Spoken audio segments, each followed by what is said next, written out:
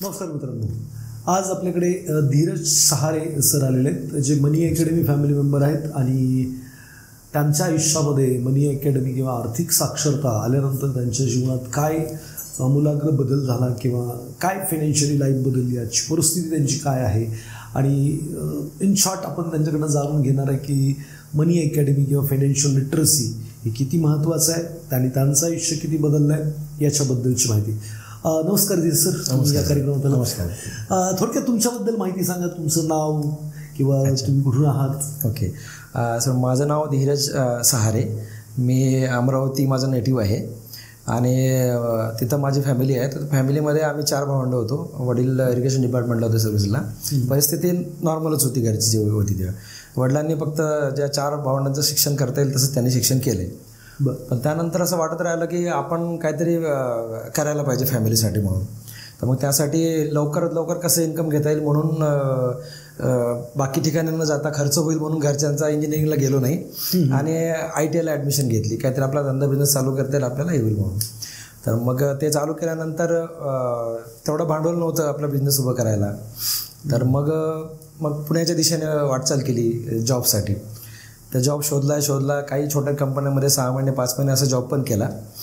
पण नंतर त्यावेळेला लक्षात आलं की म्हटलं यामध्ये आपलं ग्रोथ होणार नाही पुढे काहीतरी. बरं. तर मग त्यानंतर माझं शिक्षण पण कंप्लीट राहिलेलं होतं. झालेलं नव्हतं. मग मी ते ऑफलाईन करून मी ग्रॅज्युएशन माझं पहिल्यांदा कंप्लीट केलं. मग त्यानंतर त्या ग्रॅज्युएशन प्लस आय टी आयच्या बेसिसवरती मला जॉब ऑफर आली मग इथे एल जी इलेक्ट्रॉनिक्सला रांजणगावला. तो माझा फर्स्ट पहिला जॉब होता. त्यानंतर मी सहा सहा महिने तिकडे तिकडे जॉब केला आहे त्यात मला काही असं ग्रोथ वाटली नाही. म्हणजे मला त्यात काही इंटरेस्ट वाटला नाही नंतर. मग तो माझा पहिला जॉब जॉईन केल्यानंतर तिथे मग मी कंटिन्यू जॉब केला. एका एम एन सीमध्ये जॉब लागल्याचा थोडा आनंद मिळाला जे स्वप्न होतं. तर मग तो जॉब केल्यानंतर मग मी बिझनेसच्या बाजूला आयडिया थोडी बाजूला ठेवली आणि तो जॉब कंटिन्यू केला. मग त्यानंतर तिथं कळायला लागलं की ग्रोथ भरपूर आहे पण आपलं एज्युकेशन किंवा आपलं एक्सपोजर त्याच्यामुळे कमी पडते म्हणून मी तिथनं जेवढ्या गोष्टी मला शिकून घेता येतील टेक्निकली ज्या प्रोफेशनल बिझनेससाठी लागतात त्या गोष्टी मी बऱ्याचशा घे तिथनं शिकून घेतल्यात. आणि नंतर मग लक्षात आलं की आपलं एज्युकेशन कमी पडते आणि ते आधीचं स्वप्न पण होतं की ते कंप्लीट होऊ शकलं नाही घरच्या परिस्थितीमुळं. मग त्यानंतर परत मग मी माझ्या जॉब चालू असताना मी इंजिनिअरिंगला ॲडमिशन घेतली आणि इंजिनिअरिंग कंप्लीट केलं. आणि त्यानंतर मी अजून परत जॉब चेंज केले तर असं करता करता एज्युकेशन करता करता मी आता I T as a I T म्हणून ऑपरेटर जॉईन होऊन आज मी आज एका मोठ्या एम एस सी कंपनीमध्ये as a deputy manager in quality department म्हणून मी काम करतोय. फंटास्टिक हां. बरं मनी अकॅडमी किंवा आर्थिक साक्षरता म्हणजे का गरजेची वाटली किंवा काय प्रॉब्लेम होते तुमच्या जीवनामध्ये असे की ज्याच्यामुळे तुम्हाला आर्थिक साक्षर होण्याची गरज वाटली? ओके सर मेन म्हणजे फॅमिली बॅकग्राऊंड तसं होतं की तेवढं इन्कम नसायचं. आणि गरीब परिस्थितीमधून दिवस काढलेले सगळ्यांनी. तर असं वाटलं की आपल्या वडिलांच्या एज्युकेशन परिस्थिती परिस्थितीमुळे आपण जास्त शिकू शकलो नाही. सगळे आपण हुशार असताना सुद्धा भावंडात असं वाटलं की मग आपल्या पुढची लाईफ अजून आपल्या मुलांना आणि यांना कसं बेटर देता येईल? किंवा आपल्या फॅमिलीला पण कसं सपोर्ट करता येईल? तर त्या दृष्टीनं आधीपासून डोक्यात होतं की फायनान्शियली आपण काहीतरी ग्रो करायला पाहिजे. पण असं काही हँड होल्डिंग मिळत नव्हतं. की कसं करता येईल आपल्याला? किंवा काय असायला पाहिजे? काय नाही आहे तर सुरुवातीच्या काळामध्ये थोडीशी माहिती घेऊन काही शेअर मार्केटमध्ये इन्व्हेस्ट केले डिमॅट ओपन केलं काही म्युच्युअल फंड्स पण चालू केलेत. पण ते असंच पुढं काही त्यामध्ये ग्रोथ झालेली नाही. तर त्यानंतर मग काही ठिकाणी असं वाचण्यात आलं की फायनान्शियल फ्रीडमबद्दल आणि आर्थिक साक्षरतेबद्दल वाचण्यात आलं.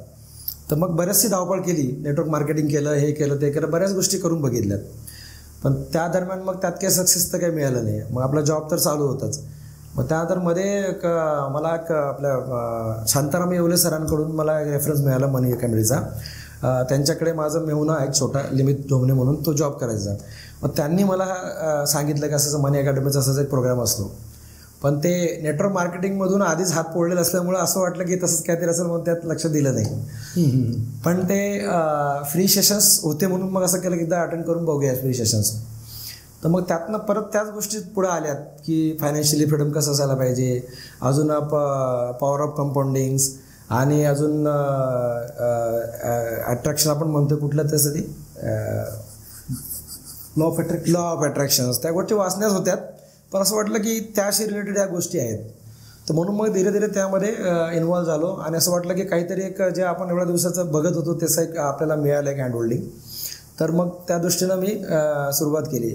उलट झालं असं की ज्याने मला ते रेफरन्स दिला होता उलट तो अजून आहे त्याच ठिकाणी त्यांनी काही त्यामध्ये केलेलं नाही. पण मला त्यातनं बराचसा फायदा झाला. त्याबद्दल मी त्याचं थँक्यू करतो. ग्रेट काय काय बदल झाला बरं त्याच्यानंतर? काय बचत वाढली? इन्व्हेस्टमेंटला कॉन्फिडन्स आला? किंवा कोणकोणत्या गोष्टी तुम्ही केल्या? मागच्या एक वर्षापूर्वी मला वाटतं साधारणपणे तुम्ही दोन वर्ष सर दोन वर्ष झाले. हां. तर काय काय जीवनामध्ये बदल झाला? सर झालं असं की आधी दोघं पण आम्ही वाईफ पण जॉबला आहे माझी. जॉबला असताना सुद्धा आमच्याकडे काही पैसे शिल्लक नस नसायचे. तर पहिला तर फायनान्शियली आपण स्ट्रॉंग असायला पाहिजे हे केव्हा जाणवलं? जेव्हा आम्ही लग्नानंतर घर घ्यायला गेलो. त्यावेळी इव्हन डा डाऊन पेमेंटचे पण पैसे आमच्याकडे नव्हते त्यावेळी. इथे पण कसं तरी मेहनत करून आम्ही डाऊन पेमेंट करून घर घेतलं त्यावेळी. तर त्यावेळी जाणवलं की नाही आपल्याकडे पैसा असायला पाहिजे पण तो कसं कमवायचे मागं माहिती नव्हते. हे जे आपण जॉब करतो त्या मेहनतमधून काय होत नव्हतं. त्यावेळी काहीच शिल्लक उरायचं नाही. आणि ई एम आय देऊन सुद्धा काही उरायचं नाही दोघांचे जॉब असताना सुद्धा. आणि मग बदल्या दरम्यान अं, कोरोना आलाय. आणि त्या दरम्यान मग अजून जॉबची इन्सिक्युरिटी झाली. मग त्यावेळी अजून जास्त विचार पडला की आता जर अशा वेळी जर जॉब केला तर काय काय काय व्हायला पाहिजे? मग त्याच वेळी डोक्यात आलं की आपल्याकडे प्लॅन बी प्लॅन सी असायला पाहिजे. म्हणजे अदर सोर्स ऑफ इन्कम असायला पाहिजे. तर त्या दृष्टीनं मग त्या डिमॅ त्या दरम्यान मग डिमॅट अकाउंट मी ओपन केलं की थोडंसं मार्केटमध्ये पण आपण काहीतरी हे करूयात म्हणून. तर आणि मग त्या दरम्यान प्रेग्नन्सीमुळं आणि याच्यामुळं वाईफने जॉब सोडलाय. मग त्यावेळी तर मग अक्षरशः शॉकच बसलाय की आता कसं करायचं? दोघांचं इन्कम असताना सुद्धा आपल्याला हे ॲडजस्ट होत नव्हतं. आता पुढं मुलगी आहे माझी बेबी आहे तिचं शिक्षण आहे. पुढच्या आपल्या स्वप्न आहेत की आपल्याला ग्रोईंग करायचं आहे ग्रोथ व्हायची आहे. पहिल्याबद्दल कसं होईल हा विचार पडला होता. तर त्या दरम्यान हँड हँड होल्डिंगसाठी मनी अकॅडमी मिळालं. तर त्याबद्दल मनी अकादमीचं मी खूप धन्यवाद हे करतो की त्यावेळी एक मला सपोर्ट मिळाला की नाही आपण काहीतरी करू शकतो म्हणून. तर त्यावेळी माझं असं काही इन्व्हेस्टमेंट नव्हतीच कुठली काही. पण मनी अकॅडमी बरोबर मी सुरू केल्यानंतर माझे मी तीन प्लॅनिंग करून घेतलं मुलीच्या शिक्षणाचं तिच्या लग्नाचं आणि रिटायरमेंट प्लॅनिंग रिटायरमेंट प्लॅनिंगचं तर मनी अकॅडमी बरोबर जॉईन व्हायच्या आधी मी रिटायरमेंट प्लॅनिंगला एवढं कधी सिरियस घेतलंच नव्हतं. तर त्यातून मला कळलं की रिटायरमेंट प्लॅनिंग किती मस्ट आहे. आणि त्या दृष्टीनं मी मनी अकॅडमीच्या मध्यस्थीने आणि त्याच्या हँडहोल्डिंगने मी माझे म्युच्युअल फंड चालू केले. आणि त्यानंतर मग इन्शुरन्सचं पण मला इम्पॉर्टन्स कळालं. त्याबरोबर मी आधी एल आय सीमध्ये इन्व्हेस्ट वगैरे करत होतो पण त्या सगळ्या स्टॉप करून मी एक माझं एक करोडचा. टर्म इन्शुरन्स घेतला. त्याबरोबर माझं इन्शुरन्स पण मी घेतलं आहे आणि आता एक माझं फक्त काय ॲक्सिडेंटल इन्शुरन्स राहिलं आहे ते एक मला करायचं आहे म्हणजे मला इन्शुरन्सच्या साईडनी पण माझी सगळी गोष्ट हे करायची आहे. आणि त्या दरम्यान मला एक म्हणजे एक अ, एक शॉकिंग पॉईंट म्हणा किंवा मला एक चांगला जे मनी अकॅडमीकडून मला शिकायला मिळालं ते मला ते म्हणजे आपला तो अ, याचा ट्रँगल श्रीमंतीचं. श्रीमंतीचं स्टँगल ते अजूनही माझ्या डोक्यात आहे आणि मी ते बऱ्याच लोकांना पण ते त्याबद्दल मी सांगितलं पण त्या लोकांना अजून त्याचा काही त्याचा फायदा झाला नाही. पण मी असं ठरवलं आहे माझ्या दृष्टीनं की मला प्रत्येक त्याच्या त्या ट्रँगलच्या प्रत्येक पायरीला एक एक करत करत जायचं आहे आपल्याला. आणि त्यातल्या पहिल्या दोन ते तीन पायऱ्यांपर्यंत मी पोहोचले आता. आता तसंच मला पुढं जायचं आहे आणि एक पीकला मला जायचं आहे तर त्यासाठी मी मनी अकॅडमीचा धन्यवाद देतो की त्यांनी माझा बेस पक्का केलेला आहे. तर काय आता सेव्हिंग वगैरे किंवा इन्व्हेस्टमेंट्स वगैरे काय किती दोन वर्षामध्ये तुम्हाला वाटतं की तुम्ही करू शकलात? हां. तर मी मी अगर डिस्क्लोज होऊ शकत असेल तर? हा नाही सर मग आधी माझ्याकडे कसं असायचं की माझ्याकडे काही इन्व्हेस्टमेंट तर नव्हतीच म्युच्युअल फंड वगैरे वगैरे. माहिती होतं सगळ्यांचं पण करता येत नव्हतं. पण मनी अकॅडमी बरोबर जॉईन झाल्यामुळं मी मेन मेन तर मी सेव्हिंग करायला शिकलो की सेव्हिंग कसं करून मी कसं करता कसं करता येईल मला? तर आता एका वेळेला आम्ही दोघांचे सॅलरी असताना सुद्धा मी काही सेव्हिंग करत नव्हतो. पण आता स्वतः एकट्याचं सॅलरी असताना माझं एक पंधरा हजार प्रत्येक महिन्याला म्युच्युअल फंड मी सेव्ह करतो. आणि आता एक दीड वर्ष पावणे दोन वर्ष झाले असतील तर माझा म्युच्युअल फंड एक ट्वेंटी एट ट्वेंटी नाईन पर्सेंटने ग्रो झालेला आहे. तर एक त्याच्यावरती चांगला म्युच्युअल फंड माझा ग्रोईंगमध्ये चाललेला आहे आता. आणि अजून मी त्याच्यामध्ये टॉपअप आता करणार आहे पुढे जाऊन आणखी.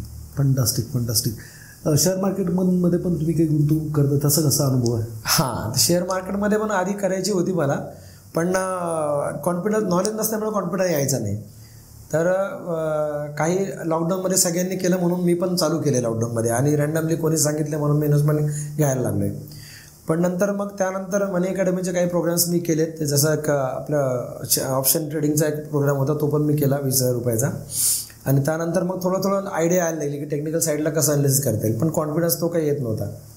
मग त्यानंतर त्यानंतर मग मी प्रॉपरली मग एक कोर्स सरांचा कडून ऑफर झाला मनी अकॅडमीकडून मला की एक वर्षाचं हँड होल्डिंग राहील. त्याच्यामध्ये आपण हे करायचं होतं. तर मग तो कोर्स मी अटेंड केला. तर त्याच्यामध्ये मला लक्षात आलं की इंट्राडे आणि ह्या गोष्टीला मला पॉसिबल होणार नाही माझ्या जॉबच्या शेड्यूलनुसार बघता. पण फंडामेंटल अनालिसिस मी करू शकतो. आणि जे सरांनी ज्या कॉन्फिडन्स मला दिला आहे राजेश सरांनी तर त्या बेसिसवरती मी कॉन्फिडन्स आलो की मी आता इन्व्हेस्टमेंट करू शकतो. तर म्हणून त्यानंतर मग मी माझा पोर्टफोलिओ धीरे धीरे करत दहा हजारावरून मी आता पन्नास हजारावरती पोर्टफोलिओ माझा नेलेला आहे. आणि तो पण एक थर्टी पर्सेंटने माझा ग्रोईंग आहे आता सध्याच्या परिस्थितीला. फंटास्टिक फंटास्टिक फंटास्टिक बरं काय तुम्ही संदेश द्याल भारतीय बांधवांना जी लोक आज स्ट्रगल करतायत ज्यांना फायनान्शियली स्टेबिलिटी मिळवायची आहे किती महत्वाचं आहे फायनान्शियल स्टेबिलिटी किंवा श्रीमंती मिळवण्यासाठी आर्थिक साक्षरता? आणि काय तुम्ही मनी अकॅडमीला तर रिकमेंड कराल का? त्यांनी मनी अकॅडमीमध्ये जरूर जरूर जरूर करणार सर. मी जरूर करणार. कारण की हा जो सब्जेक्ट आहे इथे साधारणपणे असं म्हणूया की आपण जर विचार केला तर भारतामध्ये या फायनान्शियली लिटरेट लोक मारवाडी आणि गुजराती लोकच आहेत. ते करत असतात त्या पद्धतीनं. त्या पद्धतीनं मराठी माणूस खूपच मागा आहे. आपण आपल्या एज्युकेशनमध्ये सुद्धा आपल्याला या गोष्टी शिकवल्या जात नाहीत. जे लोक समजा त्या कॉमर्स बॅकग्राऊंडला जातात किंवा बी बी एला एम बी जातात त्या लोकांना नॉलेज असतं त्याचं. पण तेवढं एक्सपोजर ते लोक करत नाही आहेत तर माझं जरूर म्हणणं असेल की फायनान्शियल लिटरसी हा एक खूप इम्पॉर्टंट पार्ट आहे. जो की आपण सगळ्यांनी आत्मसात केला पाहिजे. पण त्यासाठी असं कोणी शिकवत नाही. ते एकच एक एक एकमेव आहे की मनी अकॅडमी असं त्या लोकांना एज्युकेट करत करते त्यांचं एक मोटिव्ह पण आहे. पण तर त्या त्याच्याशी लोकांनी जुळायला पाहिजे असं माझं म्हणणं आहे सगळ्यांना. आणि माझं पण असं पुढं मोटिव्ह आहे की पुढे जाऊन जर सरांनी जर मला काही ऑफर केलं त्यांच्यातर्फे पुढे जाऊन की तुम्ही मनी अकॅडमीला जॉईन व्हा तर मी नक्कीच जॉईन होईल सर.